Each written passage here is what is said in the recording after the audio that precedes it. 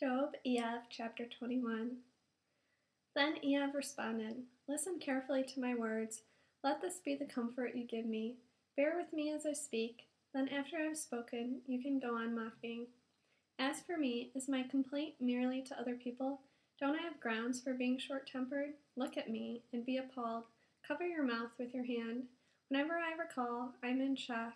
My whole body shudders. Why do the wicked go on living, grow old, and keep increasing their power? They see their children settled with them, their posterity assured. Their houses are safe, with nothing to fear.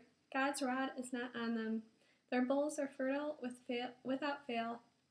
Their cows get pregnant and don't miscarry. They produce flocks of babies, and their children dance around. They sing with tambourines and lyres, and rejoice at the sound of the pipe. They spend their days in prosperity and go down to the grave in peace. Yet to God they say, Leave us alone.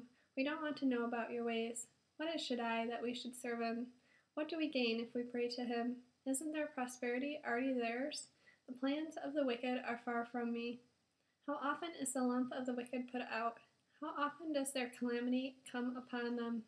How often does God deal out pain in his anger to make them like straw in the wind? Like chaff carried off by a storm. God lays up for their children the punishment for their iniquity.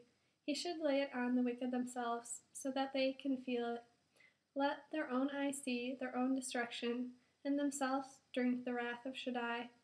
What joy can they have in their family after them, given that their months are numbered?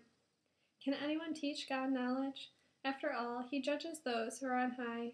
One person dies in his full strength completely at ease and content. His pails are full of milk, and the marrow in his bones are moist. Another dies with embittered heart, never having tasted happiness. They lie down alike in the dust, and the worm covers them both. Look, I know what you are thinking, and your plans to do me wrong. You ask, Where is the great man's house? Where is the tent where the wicked once lived? Haven't you ever questioned tra- travelers? Don't you accept their testimony that the evil man is saved on the day of disaster, rescued on the day of wrath? So who will comfort him with his ways? Who will repay him for what he has done? For he is carried off to the grave. People keep watch over his tomb. The clouds of the valley are sweet to him, so everyone follows his example, just as before him were countless others.